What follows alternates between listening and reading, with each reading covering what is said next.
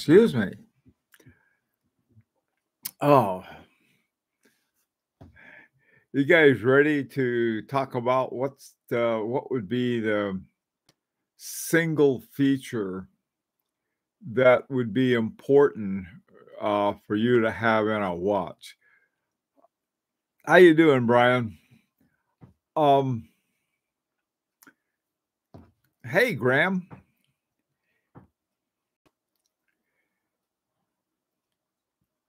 As you can see, it's a good afternoon here, Graham.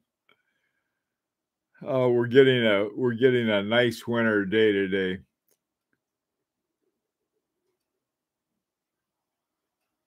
Hey, Brum Monat, how you doing? The most is exhibition case back. Yeah, I like those a lot too. Uh, it's exhibition there are a lot of things I like, okay, to have. Exhibition case back is one of them. But uh, when I started thinking is that, well, what what would be the one feature? Say, okay, there's one thing, and if it doesn't have this, I'm walking. you know, the reason for this, uh, for for the whole question, is see if we can sort of come up with a real certain kind of core quality that we're looking for in a watch. It can, uh, I have some watches I really like with a solid case back. I do prefer the, um, the other kind, but anyway. Hi, Equus. A crown. Hi, Travis. Off to buy some neat foot. Oh, yeah. I tell you what, it doesn't take much let me get here. One of these things, I got one of these little, I guess they're called atomizers. I have I I ordered a I ordered some neat foot and they sent this big can of it. You don't need very much. Uh, this is some neat foot oil for uh, if your if your uh, leather band or your gator band gets sort of stiff and crummy. Uh, it's good you very very primitive, I guess proportion. Proportion. That's a good one. I like that. Hey, mask. Need at least 24 hour power reserve. Okay. Hey, Travis. loom is my one requirement. That's interesting. loom is, I don't know. I mean, I I don't use them in the dark so much, but I guess you know a lot of people. I do think loom is uh, uh, important. Hey, Bomba, not let me see. Another very important feature is that it's manual wound. Yeah, you know, that's another thing. It's interesting. Um, I just noticed there's a watch I'm wearing, the watch I have here, the other watch. There's three watches right in my vicinity right now. They're all hand wound. Um, I do like hand wound, but some other ones that are some real favorites also are automatic, like my um, uh, Van Cleef and Arpels Heure d'Ici et Heure d'Ailleurs. That thing has this little platinum micro rotor, and I don't like micro rotors. uh, hey, Paul, how's it going? A minute hand. Yeah. I I like minute hands. I I, you know those one-handed things. I I I'm, I don't care for them either. I do like hour and minute hands. I can live without a second hand. Thing I like about second hands is sort of lets you know your watch is working, and that's about it. Hey, Rancher, how you doing? Hi, Kofi.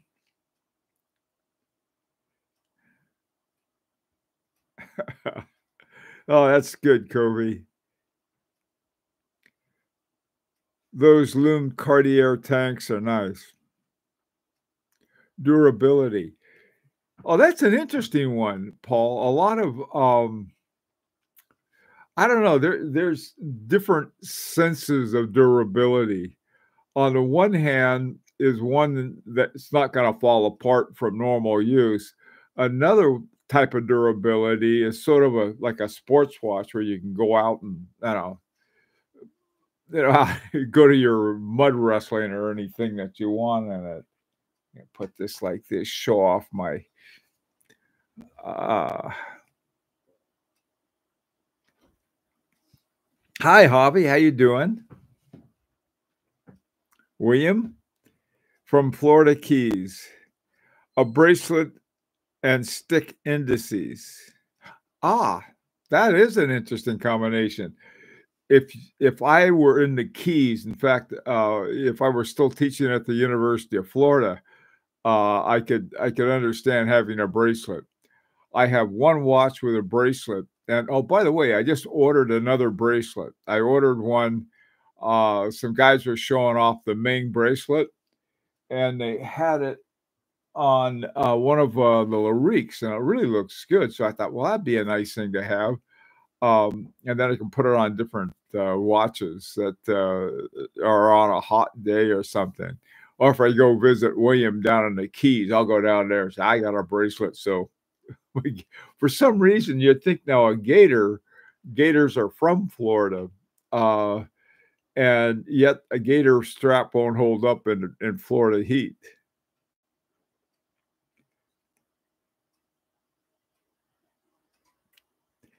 Hey, Brom, a jumping hour is nice feature, as with the Monsieur de uh, Chanel. However, probably the most, not the most important one. Yeah, I agree. Um, yeah, I jumping. I like something I can look at that is different, and jumping minutes and jumping seconds and jumping everything are sort of fun. You know, there's uh, the um, Jaeger LeCoultre that has the jumping seconds are called true seconds, which I think is sort of interesting because I believe their first use was they used to call them doctor's watches, where they're taking a pulse and they'd look at the old watch and it was like that. So it's easier to count the pulse that way. Hey, Junior, how you doing? Yeah, you know, I I had the hardest time coming up with a single thing that I could say I've got if I if it doesn't have this, I, I mean, trying to think what what would be the most important thing, and I look for and and I find there there are different kinds of things that I really like, and sometimes it's the main feature of the watch, and that's why I like the watch, and that's something I don't have in my collection. Like for example, I got a um, a regulator. I got my $200 regulator. And uh, just because I didn't have a regulator. So, but that's not something. I mean, if you get a regulator, you, you want you want to get one with three dials, but I don't know. hey, Goldfinger, a minute hand. Okay. Have the minute hand uh, I forgot what the those one. Let's see what else could have. What about a jumping minute? Would that do okay? Hey, we wear the mask. I had a long list of only ifs for my first watch, but as my collection grew, so did my uh, red lines. Oh, interesting. Hey, David. I'm scared to get any watch with at least 50 meters of water resistance. Maybe someday I'll grow out of it. You want at least 50 meters of water resistance? That's 150 feet. Where are you going to go with 150 feet? are you going to fall in a, a crater?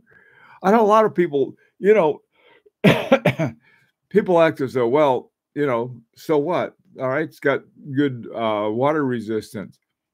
I think the main value of having good water resistance is dust resistance. You don't want any dirt or dust in your watch.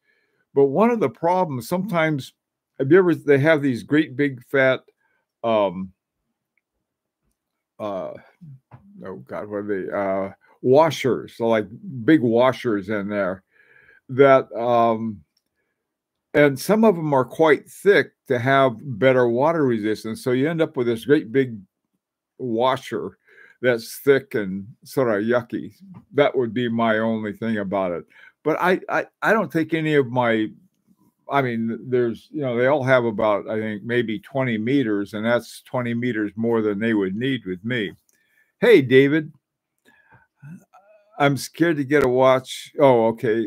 Is that with at least 50 or without 50? I think the least important is a, is a retrograde date. Huh. Uh, last month waited 31 days to see it work and fell. oh, that's funny, Brian. Have a that's sort of like you know going to sleep on a on a on a, uh, a total eclipse.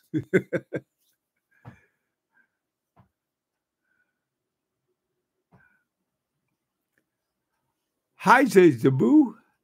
I really want to dial side power side power reserve. You know, um, I like power reserves. I like them on the front and on the back. One of my favorite watches is my FP Journe Chronomètre Souverain because it's got it on the front, and if it's getting low, I can take a look at it. Uh, both my uh, both of them, in fact, both my re resonance and my um, Chronomètre Souverain both have the power reserve indicator. I guess early on, FP Journe was really big on having it. I'm trying to think what other watches. Oh, you know what I like on the back of my um, H Moser. Now Moser likes these really clean dials, and uh, so they put it on the back. I think that's a good idea.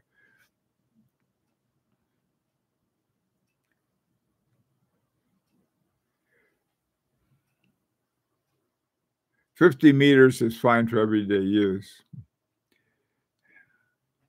Automatic. You like automatics. Automatic. I don't mind them. I have some, in fact, I have some I like very much. My, um, what's it called? Fabergé. Uh, my Fabergé Alexi. There's something about that watch I just really like. Frédéric Piguet 1150 movement in it. Love that watch. Uh, it it has a solid back. It has a this really cool looking rotor, but it's hidden. They got the Imperial Eagle and all of this good stuff, and then they had a solid case back, but it's solid white gold, so it's not so bad. You know, I like I I like gold watches, um, not necessarily for the color, but for the heft. Um, I've come to like white gold. I never liked white gold before uh, because it seemed like, you know, why pay more for white gold when it looks the same as steel? I feel the same way about platinum. I can't, if my platinum watch, I got one platinum watch, can't tell the difference between it and stainless steel watch. Okay, falling in a pool subject to several bars of pressure. That's why, okay. All right. Well, that makes sense. If I had a watch that I was taking, uh, you know, in in the ocean or something, uh, I would borrow somebody else's. I will. I, I would avoid falling into a pool. I the kind of pools where people throw each other into. I mean, the kind of parties. I haven't been invited to, to those in a long time.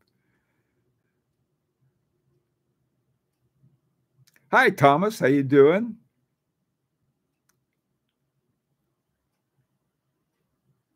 Hacking seconds is a non-negotiable feature. You know, Equus, I don't like hacking. All right. There I said it.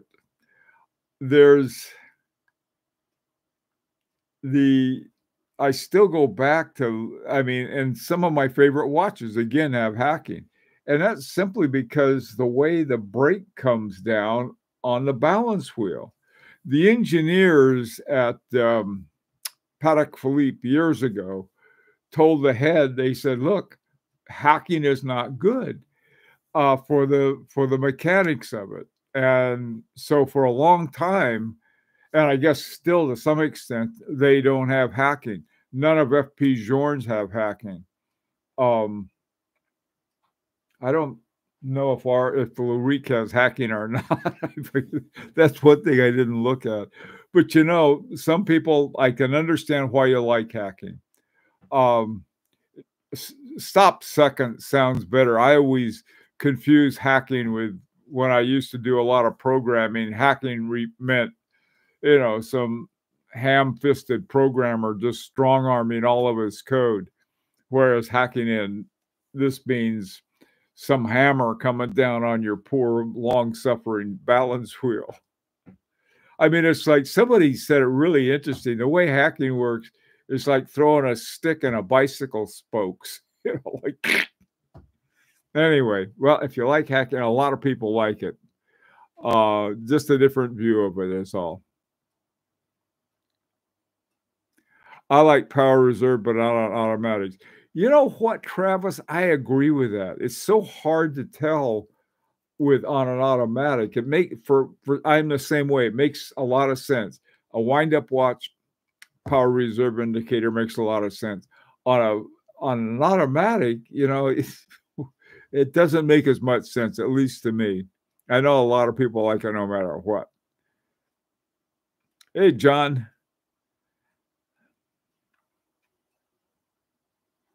You like my sweater?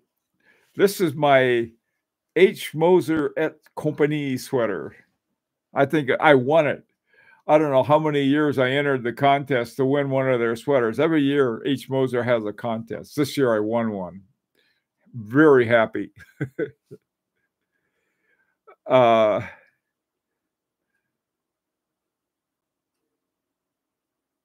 Yeah, uh, William, I agree uh, about the weight. I like the heft of gold. That's one thing. Sometimes, though, you have a really something about a movement is a little heavier. Uh, I know on our Lurik, it is not a heavy watch, and I, I was I tried on a bunch of Laurent Ferrier watches, and I thought that these things are they don't have the heft I like, and I was told, well, those are those are steel models, and if you had platinum or gold that that feel a little better and there's some truth to that. Hi eduardus. How you doing? Yeah durability. I like that one. Hey john. Good thing with white gold. Uh, you might not uh, get your arm cut off. Yeah most people think it's stainless steel. You're right. That's a very good point the you know the poor guy who gets his arm cut off for a copper watch or brass. I look at my brass watch; looks like gold. Hi, Awoken. How you doing? I never heard of watchmakers complaining about scuffs on balance wheels. Hmm. Uh, from hacking levers. Uh, it's not from the scuffs on balance wheels, uh, and it has to do more with the way that the, in terms of engineering, it comes down. It's not scuffs uh, awoken Marvin. Oh, we don't have hacking. Good. Now, some watches, um, if you want to have hacking, they this is this is one. This is my new um ah hang on. Whoops. I got to show you something. This, if you have to have a watch that has something like hacking, what they, what the uh, Moritz Grossmann does, let me see if I can see it with a, you can put it here. Ah, what I'm trying to do is, is to show, there it is. Okay. Uh, see right here, this little guy right here, what Moritz Grossmann does, as soon as you start winding it, uh, something locks. It's some kind of gear locks here so that the uh, second hand stops. So you wind it up, and and before it will start running again, you have to push in this little pusher, and so it does it without hacking.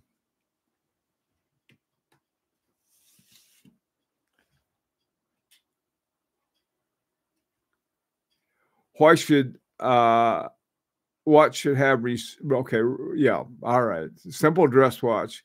Yes they should have some water resistance i agree but i i see it as you know you washing your hands and things like that you you don't want you don't want to have no water resistance you just don't need a ton where you have some big fat rubbery looking gasket in there to keep it out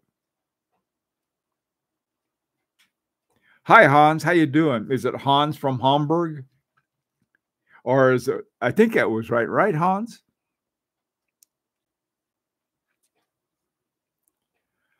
Hi, Equus. I must admit, I didn't know any of that, nor that uh, it had a, a, stick in the well. yeah.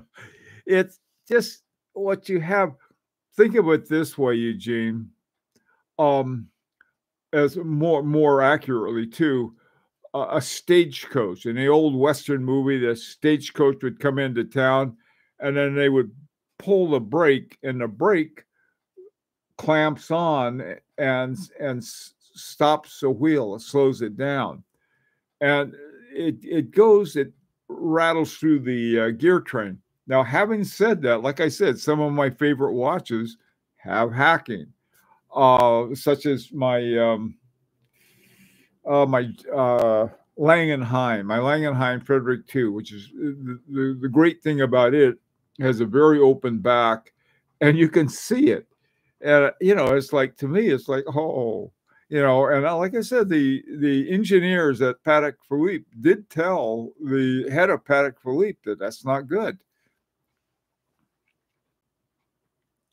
Seiko's uh, magic lever system has made me wary of uh, bidirectional winding on most other automatics. You know, that's an interesting thing, uh, Marvin, or is that right? Awoken Marvin. Anyway, that is interesting. Um, the bidirectional thing was was a problem on on rotors. Um, on yeah, I I don't know what it is. Uh, again, the the techniques of that, but I did understand that. That you know I'm not a big fan of automatics, but if I had one, and I think I do, I don't know whether it's bidirectional or unidirectional, but I understand from somewhere that the unidirectional ones were better. Hi, Arnaud. Most important thing is how it it fits. Yeah, that's a good point. You know, fit includes a lot of things. It includes the band, it includes the size of the watch for your wrist, a lot of things like that. I think that is important. Hey, Mark. Uh, now there's a guy. You know, Mark is he got this. Mark J got this really nice FP Journe Chronomet vein, and I don't know to some extent. I think he got taken advantage of by one AD, but Mark went after them and said, "Look, you know, this was mine, and I had down payment and everything." They finally uh, got uh, FP Journe to do the right thing, and I think that was great. And the the one who was not so nice is no longer an AD for FP Journe, which also serves him right. Hey, Lee, no dates on dress watches. Oh boy. Um, I I'm not a date fan, okay? Um I got my now I have a far side calendar. So I look at my far side calendar. Every time so many of my watches are hand wound that if there's a date on it, it gets unwound. And so when I, you know, and, it, and I'm going through rotation and I come back and the date's wrong, it's always wrong on mine. And so I got to figure out, and then is it goes to morning or evening. The one watch I have that I, it really works well with, and it's a dual time zone watch, is my uh, Parmigiani uh, Hemispheres. Wonderful watch. And doing it you can look at the two uh, night day indicators and you can tell whether it's AM or PM simply by the way they're set up. and so I can look at those and know whether I got to go around, uh, you know, uh, for the date. I just don't like screwing with dates, uh, Lee. But so I, you know, I, I I don't know if it's appropriate on any watch, but you know, it's sort of like if people like dates on their watches, and I I think it's sort of a cool thing. But so often the date is this little bitty box and you can't see it if you have dates on a watch, what I like are the hand dates. I don't know why, but I see a hand date and you have two types of indication. You have a positional uh, indication from where the date stick is. And then at the top, this is the kind I like the best, are the ones with the little cup at the top, or the little uh, crescent at the top of the hand date. And it sort of puts it right there. Those I like. So I think I have one, but I'm not sure.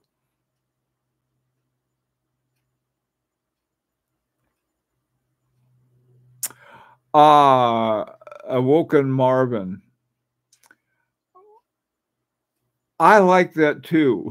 All right. Uh, I once had this wonderful, really was a nice watch. It was El Rob. Oh, I forgot what the name of it was. Uh, but it, it, uh, the people who made the watch weren't exactly telling me the truth about it. And I said, Well, what kind of movement is in it? and they said it was a Frederic Breguet. I said, "Oh, all right. Uh, what kind?" Well, they weren't sure. I said, "Do you have a picture of it?" Well, they sent me this blurry picture. Turned out that it was an ETA Peseux uh, 7001, which is a fine little movement, but that's a little bitty thing. So uh, I think Marvin's got a good point. I've got a on my um, what is it? My Bovet, uh, my Bovet 1930 that is it fits it like a glove. It's really nice. Um, let me see if how this one. I I like a I like a watch that fits well. This one's got sort of a thick uh, sides to it, uh, and this is a 4400. And I know that they have a 36 millimeter version so in a 36 millimeter version, a 4400 probably yeah, will fit it better. But this one, it's so pretty to look at. When looking at the movement, I don't care. but by and large, I agree. I like movements that fit. Um, that's one thing about the Lalique watches. We the uh, we we have them. We have all of everything is made for us uh, the, from the movement, and so we know the exact dimensions of the movement. Dealing with the, uh, we also do the case. We have it done bespoke. Everything is done that way, and so we have really good matching on that.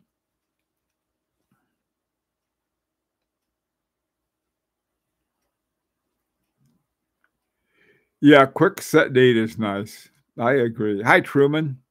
Easter week 1921, right. Case composition and proportions are the most important, difficult to pull off timeless designs. Hey, Sydney, my vote is simple. My watches must be easy to read at a glance. You know, I like that too. I, that's another thing I do like. Um, this is as much as I like this watch. Um, it has uh, let me see if I can put it. The the it looks like skeletonized, sort of a open face. What it is that makes it okay with me, all of the the insides here are made up the design are watch hands. They're all different kinds of watch hands. Look at the thing. There are all these watch hands. You have to sort of hunt for the hands for day and night, but I like the smooth ones too. Hey, Abdul, how you doing, man? Eddie, hi, Eddie. Hey, Eddie, how would you like to buy a watch company? Not buy one, lead one. Uh, you and Abdul can run it for a while.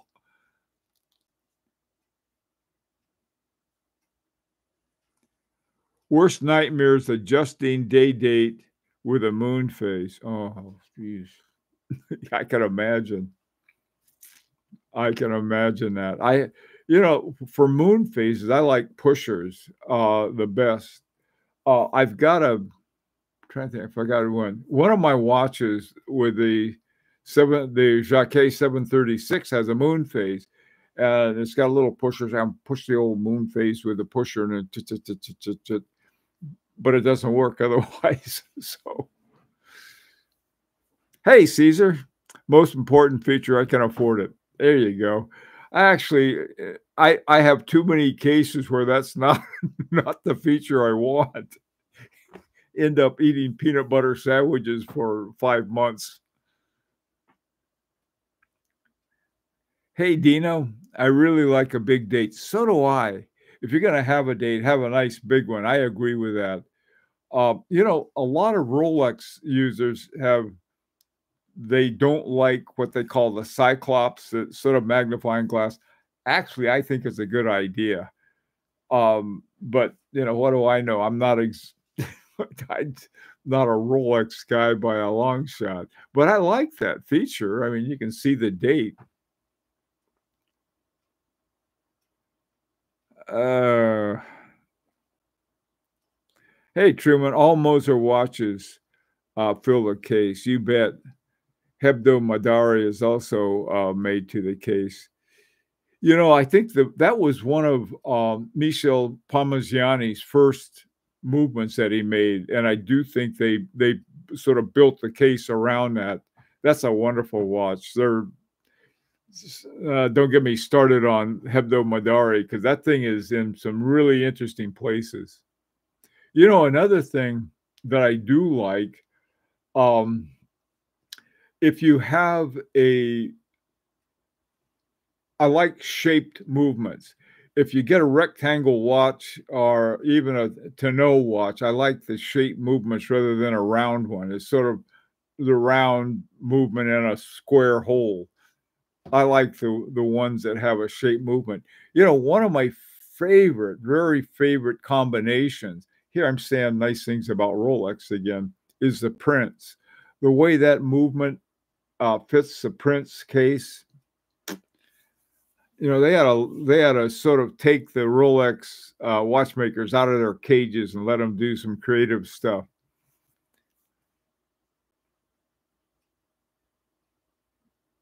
Proportional handlings. I hate it when the hands are too short or too thin. You know, I'll tell you something interesting about that, Abdul. Um, there's something called, and I'm sure you know what I'm talking about It's called the golden ratio and it's from a uh, from an ancient architecture they use the golden ratio it's also called phi uh, the ratio is 1.61 or 1.62 to 1 and uh, all of the parmigiani hands the proportions are proportions to the uh, to the golden ratio. You know, I wonder if the ones on the hands on our watches are. The 7001 is a great movement, but it is tiny, yeah. And alternatively, the 6498 is huge, and I love it. And I like the clones. Hey, just Tom, how you doing? Sorry if you already heard this, had this uh, just got on. Uh, for me, a fair price. Oh my God. That's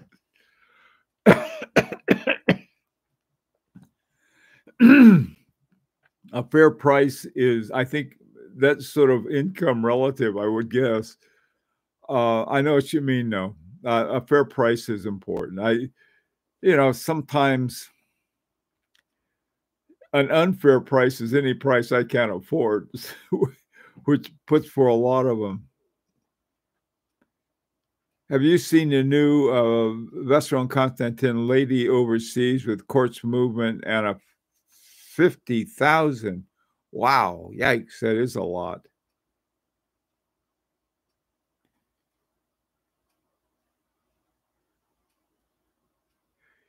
You know, um, Graham, Longines, and I think I just said this the other day. Longines is one of those brands I think that is well underestimated. Uh, they really are very well made watches. You know, another watch that's well made. They haven't always had the best movement, but they're really good watches. Uh, is uh, now I can't think of the name. Uh, the what what what what are they? Nah, I'll think of it in a second. The oh Ah, never mind. I'll, I'll I'll come back to it. Hi, Eddie. For me, it's a second hand or something that moves quicker uh, than the minute hand on the dial side. Don't know if it's because I like the precision or just seeing something move quickly. Yeah, Eddie, I tell you, the nice thing about that is you know the watch is wound. You know, otherwise you have to check the back. Um, this our next Larique watch is not going to have the small seconds. Instead, we're having that 30 second uh, retrograde. Uh, I've got a 30 second retrograde on my um, Harry Winston. Ah, I got that thing at the tip of my tongue. Yeah, I do like him, but I, will tell you, um, uh, some of my some of the watches I happen to like a lot, like my Fabergé doesn't have anything on the front except hour and minute, and and then it's got a solid back. I drive, but I still like it, and I can't hear well enough to hear whether it's ticking or not. So you got, yeah, it's weird. Hey, magnifying glasses is ugly. War. I know, I know, Truman. I'm not arguing with you. I'm just saying for visibility. My Rolex Rolex owners hate those things. I know that. Hey, Sydney, my watch must have a crown that is easily managed.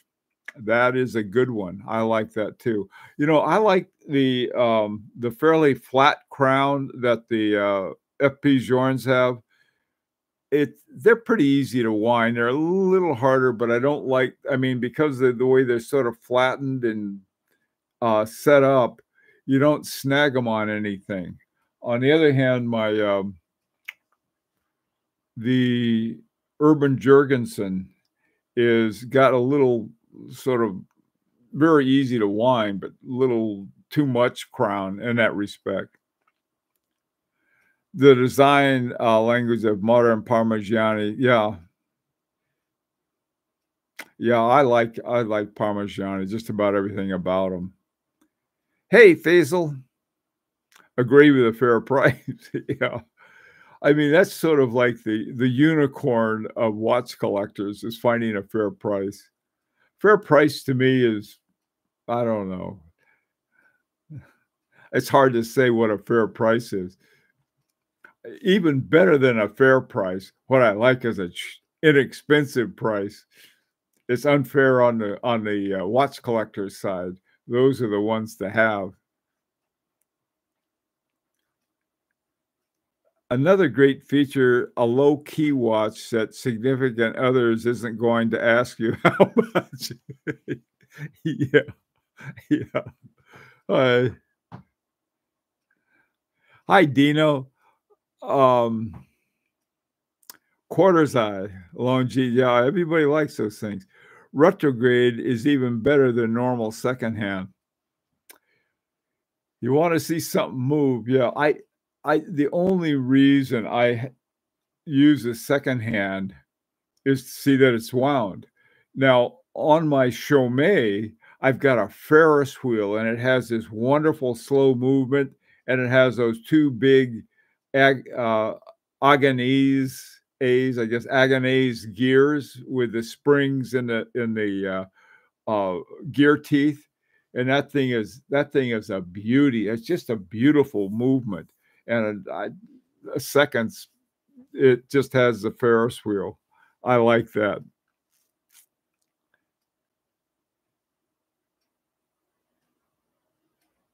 Have the second uh, retrograde on a Chronoswiss balance.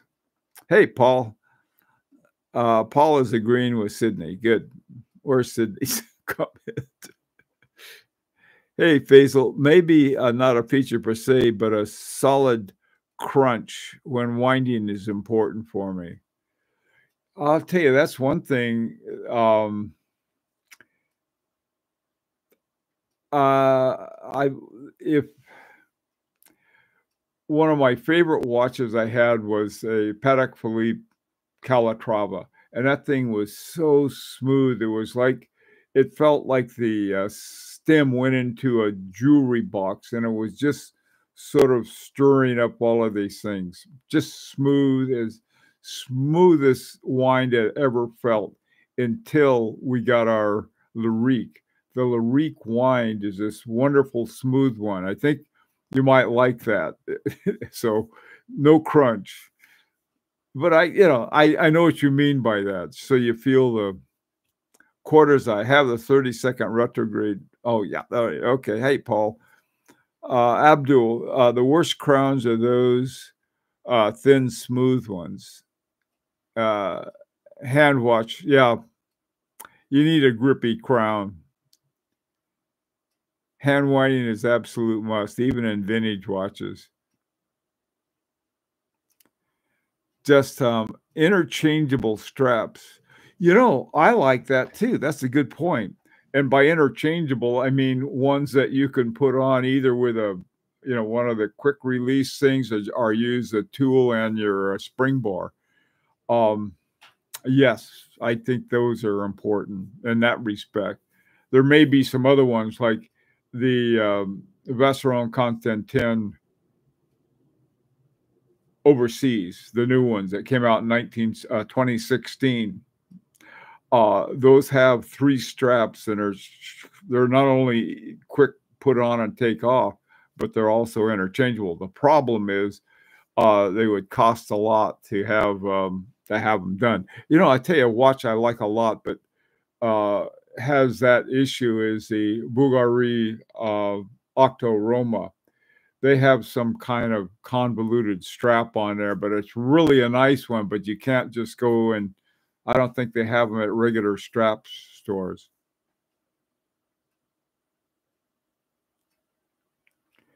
Yeah, the smooth ones. Yeah, I had a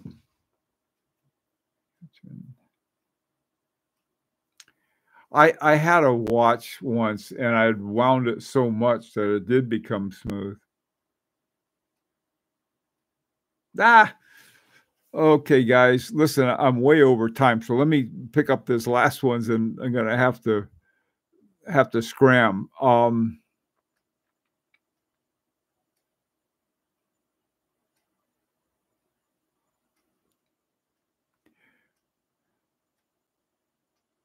Oh, Truman, your your fair price is manufacturing price but plus 30 to 25% overhead. Alas, just in your dreams is right. The formulas is usually six times to 10 times the manufacturing price. But you've got to remember if you go into an AD, 50% of what you're paying for the watch is just for the AD has nothing uh, that's whatever it costs to manufacture is added to that to marketing to advertising to shipment to storage to all of these other kinds of things that was really one of the reasons we formed Larique so that we could have a really nice watch with all all of the things we'd never use 69 6119G is a dream watch for me but it won't get that at a fair price. Some things, you know, the Gerber, Greubel Forsey, that would be the hand wound. That would be what I'd love to have. But I don't know, it's like $200,000 now or something crazy like that. The same thing with um, oh, Smith, Roger Smith watches, you know, they're, and they're, they take such a long time to make. I mean, I've seen Roger Smith start with a literally a rod of gold and he's making the old cases and everything. Okay, let's see. Eric, what are your thoughts on Carl Haas hairsprings? They're very good. They're used in um, Habring 2 uses them, uh, and they're excellent. Yeah. Uh, you mentioned, I just, yeah, I didn't see the bottom part. Okay. All right, guys, listen. Um, got to run. Thanks for putting up with me and forgetting all the watch names that I was trying to remember. And uh, have a great rest of your weekend. Take care.